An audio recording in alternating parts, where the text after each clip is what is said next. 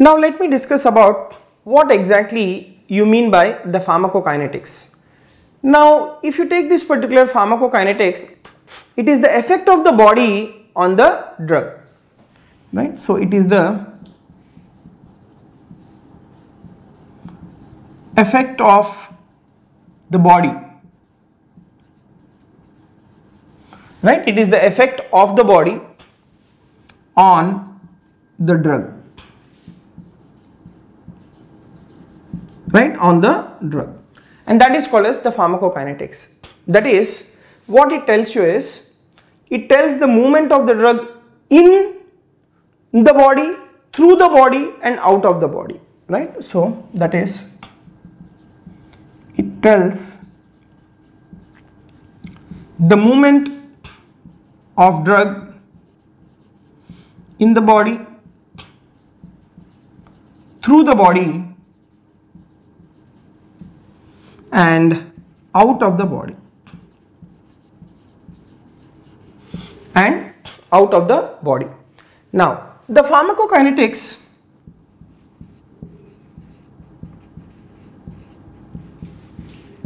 right? The pharmacokinetics. Remember it is also called the ADME study. Right? I'll tell you what exactly you mean by this.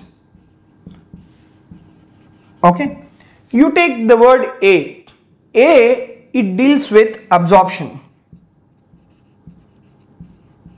Right? A it deals with the absorption of the drug. The word D stands for distribution. And M is your metabolism of the drug. Right? Metabolism of the drug. And the word E stands for excretion of the drug. Right the word E stands for excretion of the drug. So remember pharmacokinetics is also called the ADME study as it deals with absorption distribution metabolism and as well as the excretion of a drug. Now, let me first take up about the absorption.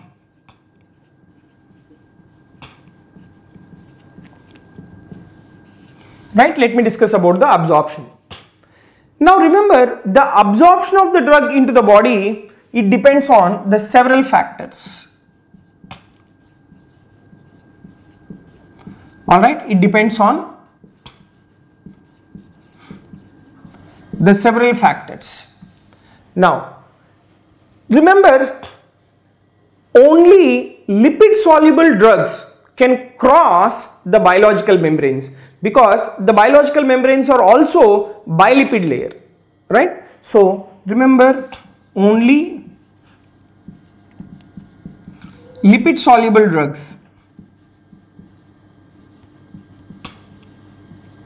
right only the lipid soluble drugs can cross biological membranes.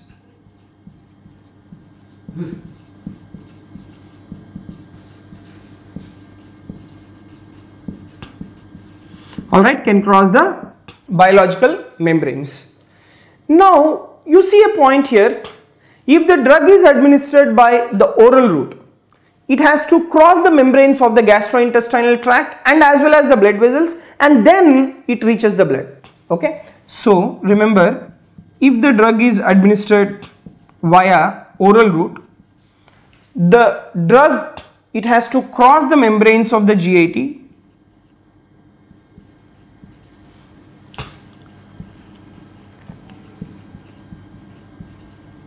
right it has to cross the membranes of the gastrointestinal tract and it also has to cross the blood vessels. And then finally it reaches the blood. Right finally it reaches the blood. So if a drug is administered by the oral route it has to cross the membranes of the GIT and blood vessels and finally it has to reach the blood remember therefore it should be a lipid soluble form right? If it has to cross the membranes of the GIT and blood vessels the drug whichever is administered should be in a lipid soluble form.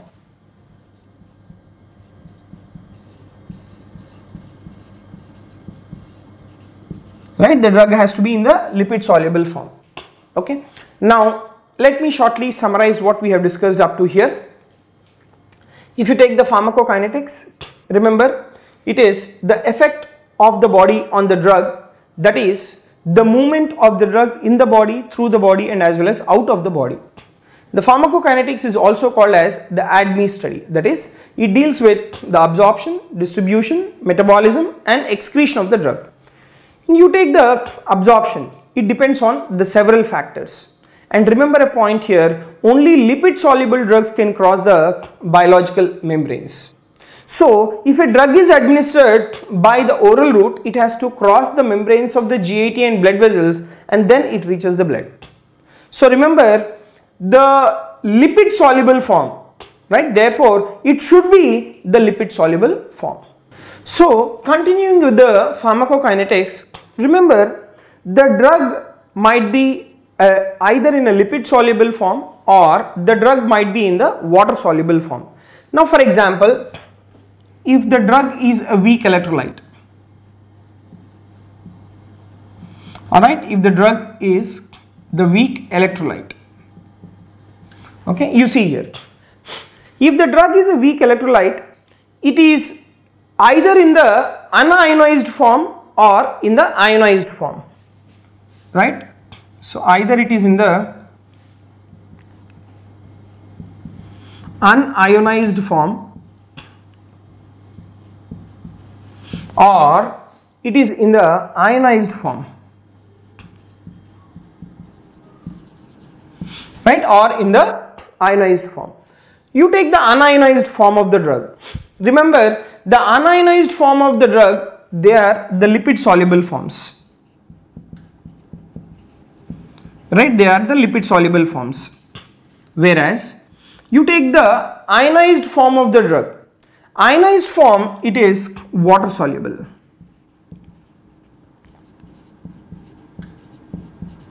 Right ionized form is water soluble. Now, a point what you should remember here is when the medium is same that is if the drug is acidic medium when the medium is same that is the drug is acidic and it is present in the acidic medium then the drug can cross the membrane. Now for example the drug is basic and the medium is also the basic medium then the drug can cross the membrane. So a point what you should remember here is when medium in which the drug is same. Alright, when the medium is same, remember drug can cross the membrane.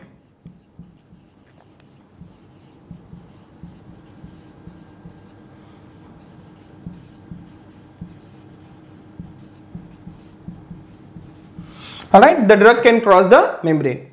Now, from this statement, we can find that the acidic drugs can cross the membranes in acidic medium that is the acidic drugs are mainly the lipid soluble in the acidic medium right. So from this statement what we can summarize is you take the acidic drugs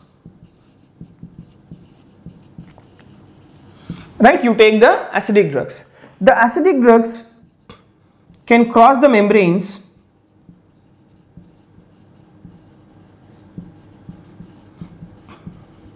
right the acidic drugs can cross the membranes in acidic medium. Okay? Now next point is you see here the acidic drugs can cross the membrane in acidic medium. That is the acidic drugs are they are mainly lipid soluble in the acidic medium right? So for this acidic drugs the acidic drugs must be in unionized form in the acidic medium. I will repeat again. Remember from this statement what we can find that the acidic drugs can cross the membranes in the acidic medium. That is the acidic drugs are they are mainly the lipid soluble drugs. Okay, lipid soluble drugs they are the acidic drugs. Now, for the drug to be lipid soluble, right, for the drug to be lipid soluble, the lipid soluble drugs they are in unionized forms okay? So they are in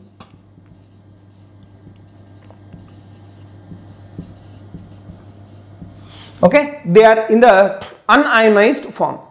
Now exactly opposite is also true for the basic drugs right? Exactly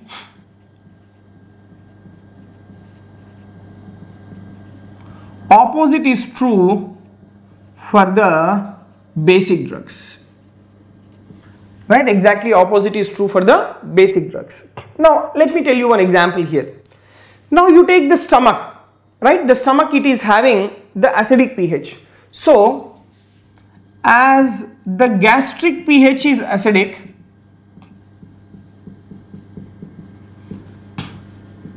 right? As the gastric pH is acidic. Therefore within the stomach the acidic drugs are more likely to be absorbed from the stomach. Now what are the examples of those drugs? Now for example you take aspirin. So aspirin is the acidic drug that is more likely to be absorbed in the stomach because the stomach has the acidic pH. So remember as the gastric pH is acidic therefore therefore acidic drugs they are more likely to be absorbed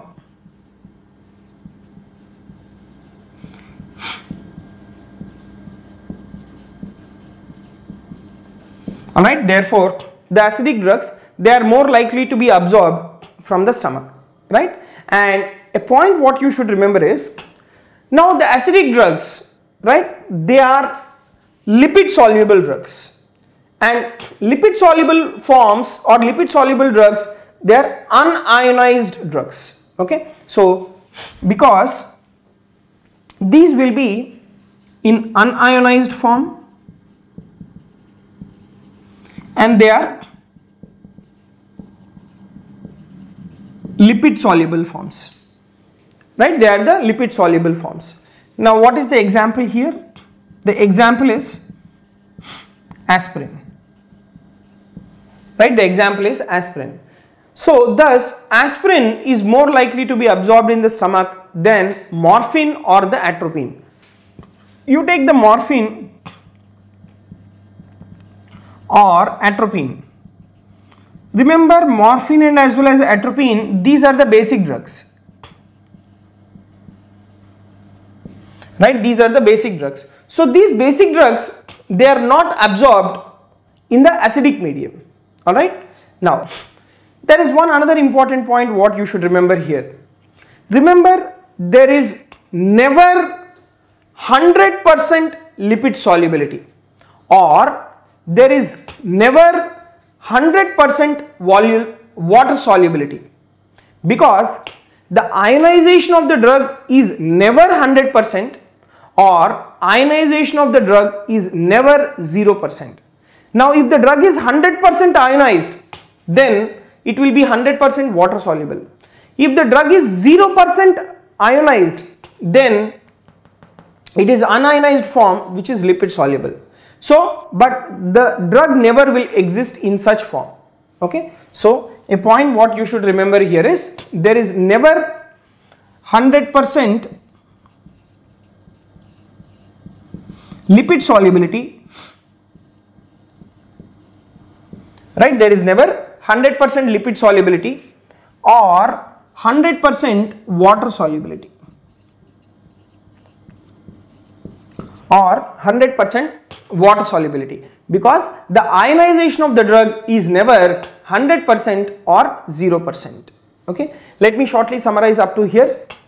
Remember the drug if it is a weak electrolyte it can exist in either in the unionized form or in the ionized form. So when the drug is same the drug can cross the membrane right? When the drug or when the medium is same the drug can cross the membrane. Now from this statement what we can make out that acidic drugs can cross the membranes in acidic medium. That is the acidic drugs are lipid soluble in acidic medium. For this the acidic drugs must be mainly in unionized form in the acidic medium and exactly the opposite is true for the basic drugs. Now as the gastric pH is acidic, therefore the acidic drugs are more likely to be absorbed from the stomach because these will be the unionized lipid soluble forms here. Now the example is the aspirin. Aspirin is more likely to be absorbed in the stomach than morphine or atropine which are the basic drugs.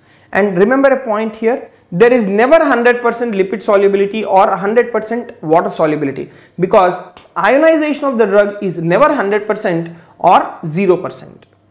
Now within this pharmacokinetics like we need to remember few concepts right. We have two terminologies which is called as pH and as well as the other is what is called as pKa. The word pH it tells you what are the number of or what is the concentration of the hydrogen ions in the medium.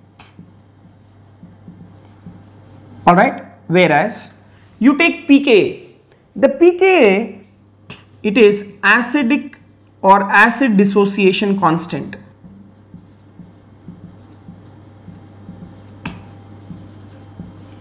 right? Acid dissociation constant. And this particular pKa it measures right? It measures the strength of acid. It measures the strength of acid in the solution. Right? It measures the strength of acid in the solution so that is your pKa. Okay. So pH it tells you the concentration of the hydrogen ions in the medium. The pKa it is the acid dissociation constant. It measures the strength of the acid within the solution. Now you see here. Now for example if the pH and as well as if the pH of the medium is equal to that of pKa right if the pH of the medium is equal to that of the pKa then remember that then remember that 50% of the drug is ionized.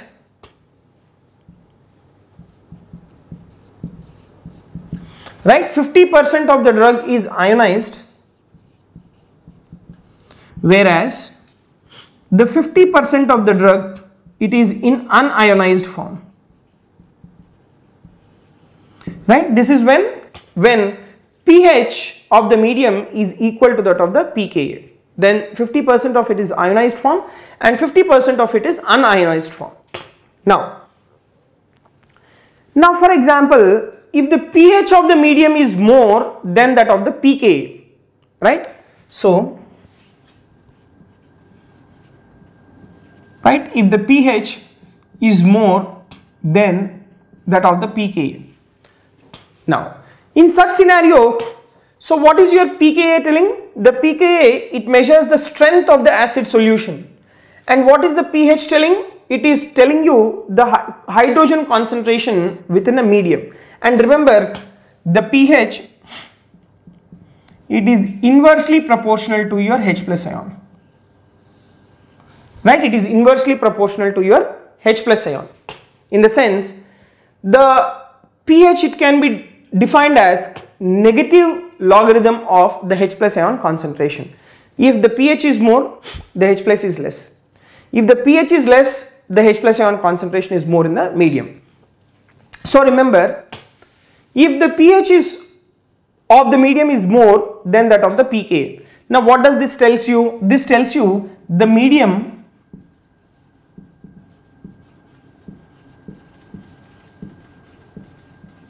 right? This tells you the medium it becomes alkaline. All right so what does this tell here? pH is more. That means the H plus ion concentration is less. So H plus ion concentration is less compared to that of the pKa what is the pKa pKa is nothing but it measures the strength of the acid in the solution. So the strength of the acid in the solution is less. So this particular medium it becomes alkaline. Now Remember in this medium for acidic drugs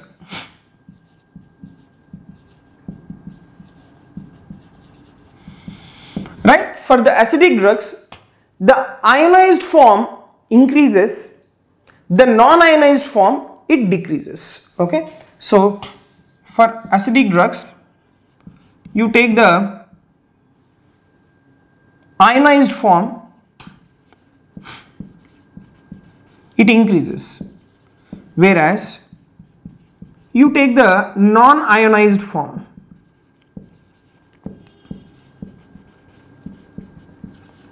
So this is for the acidic drugs. The ionized form increases and non-ionized form decreases. So non-ionized form that is the lipid soluble forms and ionized form they are the water soluble forms. Now, now you take for the basic drugs, right for the basic drugs. Now if you take the basic drugs it is exactly the opposite. The unionized form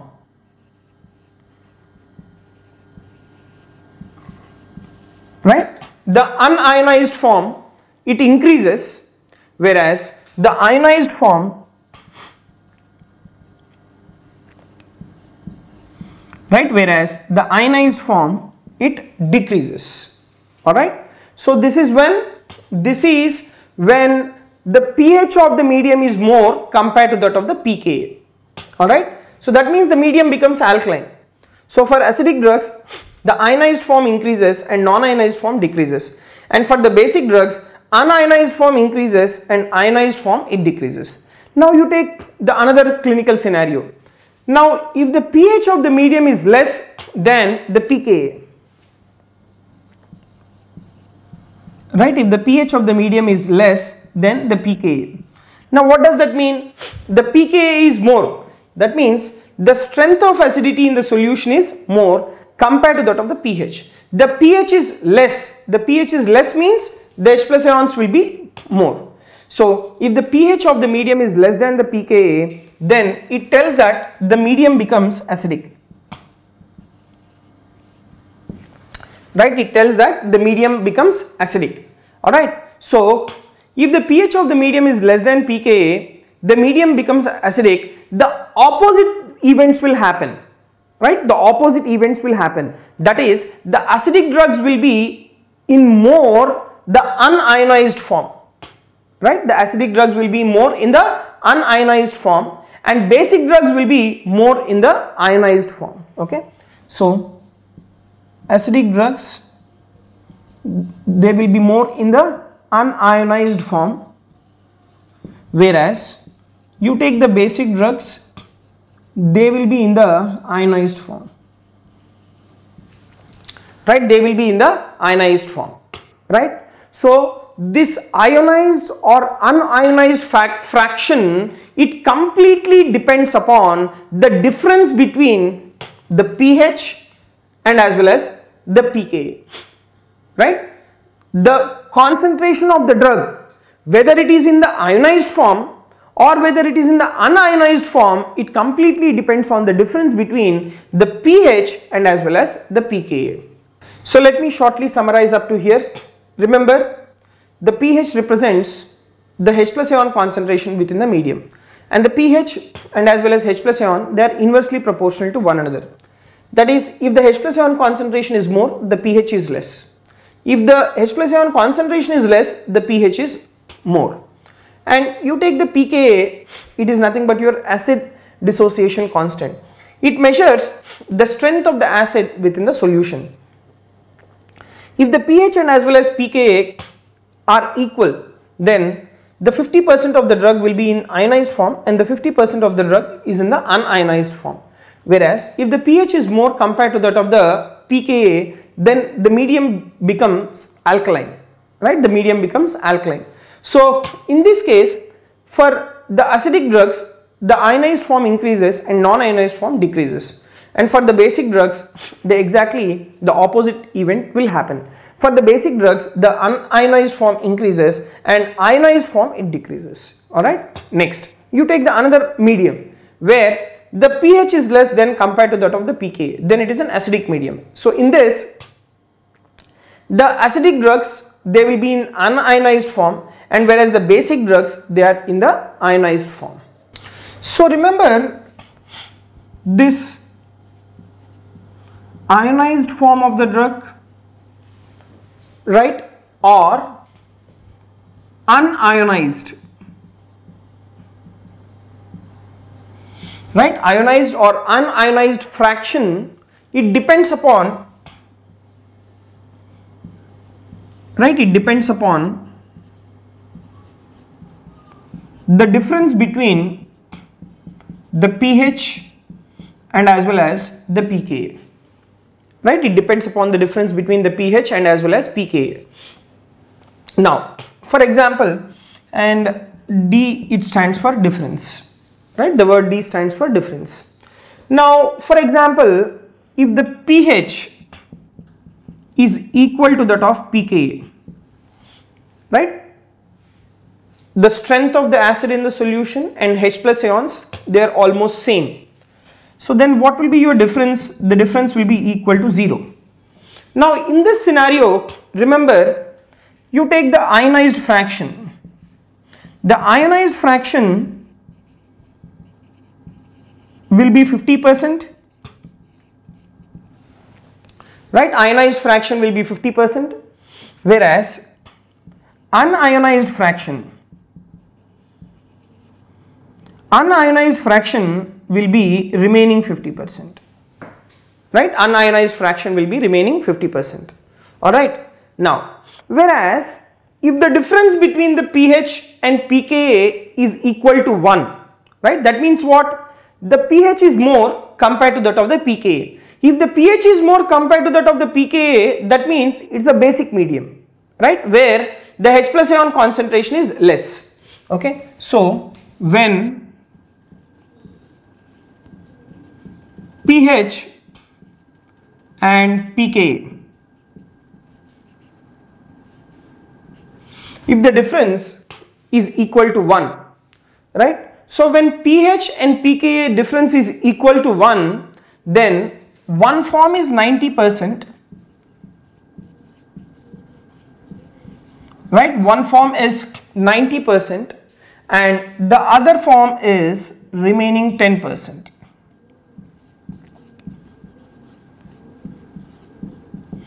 Right? The other form is remaining 10 percent.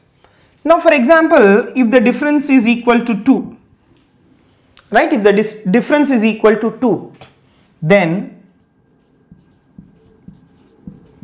one form will be 99% and the other form is 1%.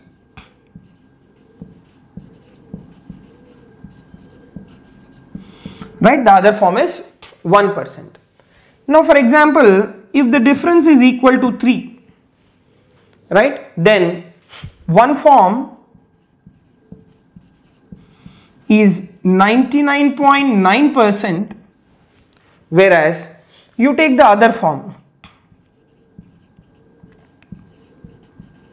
The other form will be 0.1 percent.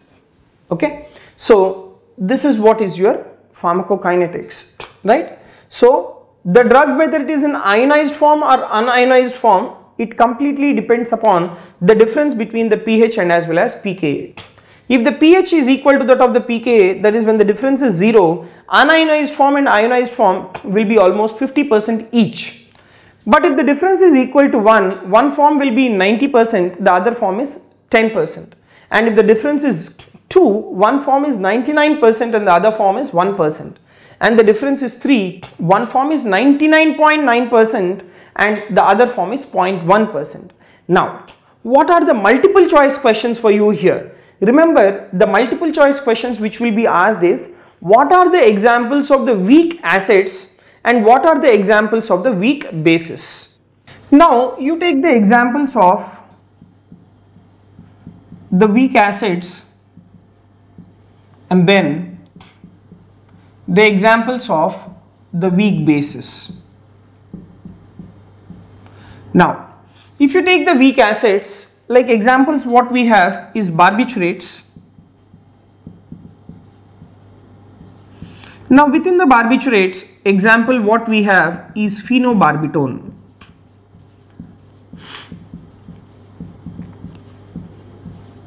Right the example what you have is the phenobarbitone. Now, the other examples of the weak acids is like your NSAIDs, right? Is your NSAIDs. The NSAIDs they include aspirin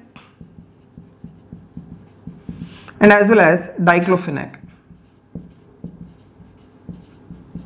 right? As well as diclofenac. These are also the weak acids. And the other weak acids are examples they include methotrexate,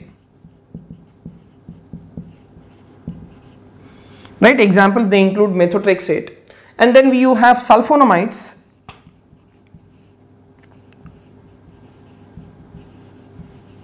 right? Then you have sulfonamides and the other drugs what you have is penicillins.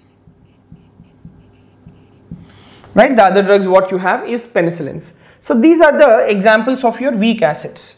Now let me tell you which are the weak bases. The weak bases they include morphine. Right? The weak bases they include morphine. And then you have atropine then you have amphetamines. Right? Then you have amphetamines. Then you have quinine. And next you have hyoscine. So these are your weak bases right? So which of the following is the weak acid, which of the following is the weak base? That can be asked as a multiple choice question.